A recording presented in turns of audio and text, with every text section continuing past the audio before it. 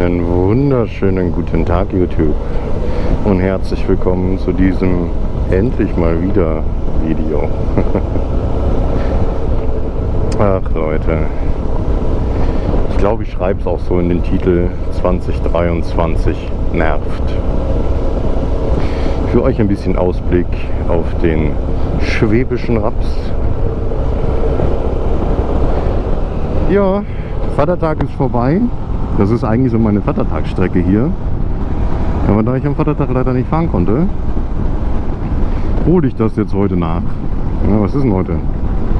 Sonntag, der 21. oder sowas? Oder 22. Keine Ahnung. Ja, ich bin tatsächlich seit dem äh, Video Anfang April effektiv noch einmal in die Arbeit gefahren. Und das war's. Ich habe gerade auf meinen Oktobersprit drauf getankt. Von dem ich gerade mal ja, 100 Kilometer weggefahren habe. Also, wie gesagt, diese Saison ist äh, bisher echt äh, ein schlechter Witz. Aber das äußert sich halt insbesondere für mich auch an vielen, vielen verschiedenen Sachen. Ne? Ich meine, ich arbeite ja auch im Motorradbereich und äh, mein Gott, irgendwie gefühlt 70 Prozent unserer Umsätze haben jetzt äh, hauptsächlich Fahrschüler gemacht. Ne?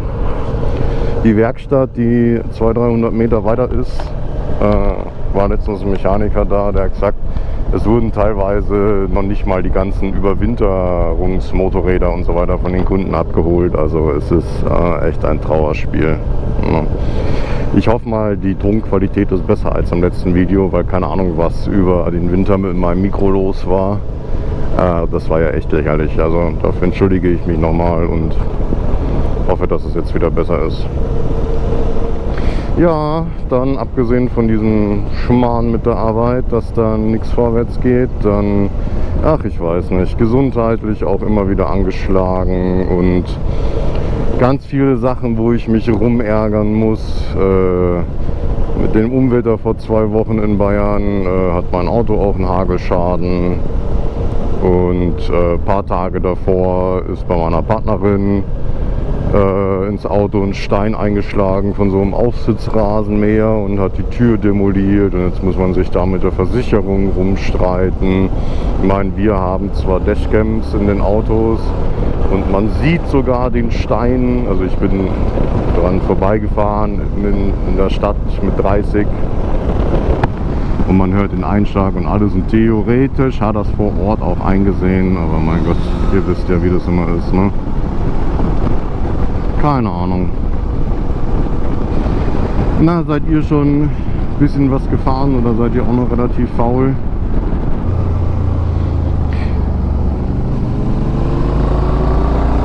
Ich meine, ich habe auch schon Bekannte und äh, auch ein paar Kunden oder sowas, die gesagt haben, boah, ich habe schon 1000, 2000 Kilometer abgespult oder sonst irgendwas, wo ich mir denke, ja, und im nächsten Satz meckerst du halt darüber, dass das Wetter scheiße ist. Ne? Ich meine, ich, mir gibt's Fahren im Regen halt einfach nichts. Ne? Ich, ich brauche das nicht.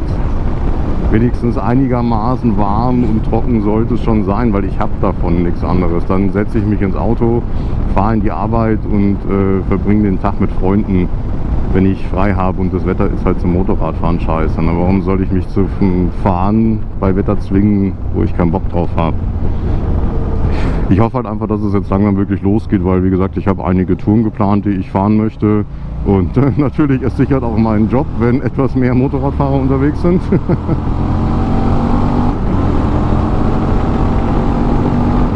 ich meine, natürlich fehlt mir das, ne? das Gas geben, diese, ich meine, die Art der Beschleunigung, ihr wisst es selber, ist was ganz anderes als im Auto diese Freiheit auf dem Motorrad.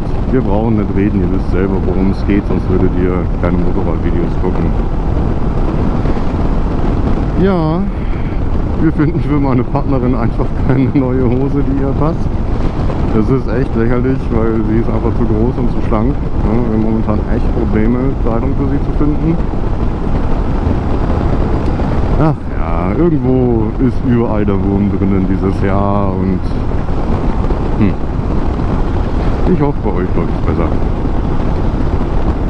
Ja, ich werde jetzt heute einfach so eine kleine, ja, was sind es denn, 180 Kilometer Überlandtour machen, weil nach Österreich fahren lohnt sich nicht, nachdem äh, da überall Schnee liegt momentan. Ne? Ich meine, die meisten Pässe sind immer noch zu oder wieder zu etc. An diese neuen Bridgestone-Reifen. Ne? Ich musste jetzt leider nochmal Bridgestone aufziehen lassen. Ich weiß nicht, ob ich das gut finde, wenn ich den Lenker nur so berühre und die Maschine fängt das Kippeln an. Naja, egal, muss ich mich halt dran gewöhnen. Ähm, habe halt überlegt, keine Ahnung, das wäre jetzt so eine prädestinierte Nachmittag für eine äh, Namenlosrunde oder sowas. Ne? Habe ich Wetterbericht von da drüben angeschaut. Ich meine, hier sind es jetzt schöne 23 Grad heute bewölkt, das ist schön. Ne?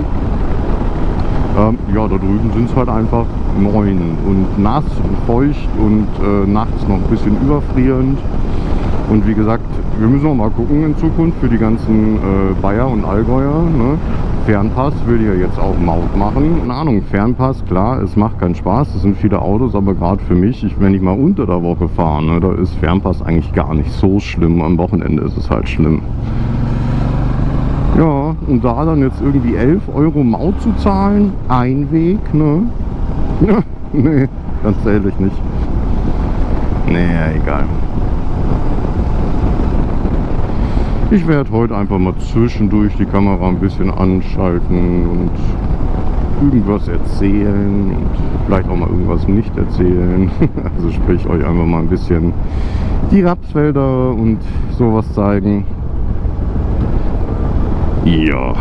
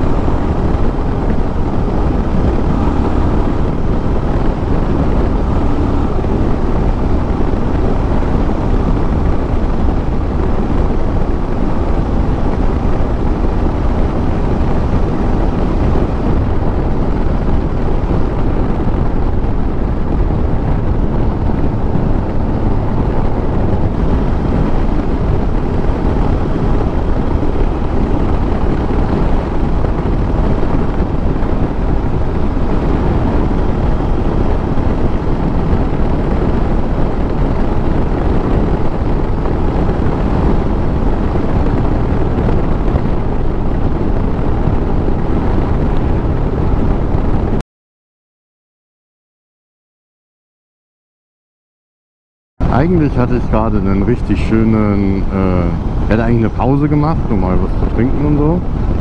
Äh, hab mir da eigentlich eine richtig schöne Panoramaplätzchen habe ich mir gesucht mit einer Bank, äh, wo man richtig schön so einen Panoramablick übers Allgäuer Wald- und Feldleben hatte, aber naja, danke GoPro. Ja, und dann hatte ich euch eigentlich mal noch in einer sehr schönen Birkenallee gefragt, was habt ihr denn eigentlich dieses Jahr so vor? Motorradtouren technisch? Macht ihr einen richtigen Motorradurlaub oder habt ihr irgendwelche ähm, Touren vor? Was natürlich für mich auch immer eine Sache ist, wenn ihr irgendwie geile Tipps in Tirol, Südtirol oder sowas habt, die vielleicht jetzt nicht so bekannt und Standard sind, ne?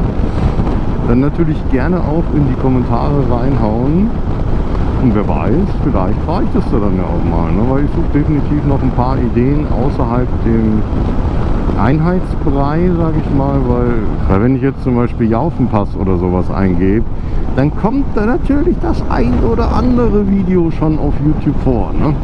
Und irgendwas nicht ganz so bekanntes wäre natürlich auch cool, wenn ihr das denn dann mit mir teilen möchtet, auf die Gefahr hin, dass meine unfassbar große Viewerschaft, nicht böse gemeint, dann einen Ansturm auf diesen Geheimtipp machen wird.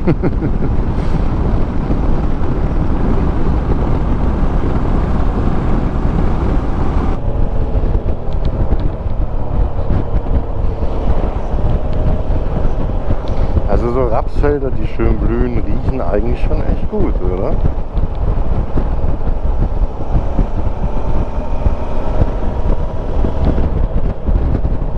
So, und in diesem friedlichen Waldstück ohne Sonne, na gut, mit ein bisschen Sonne, verabschiede ich mich heute auch wieder.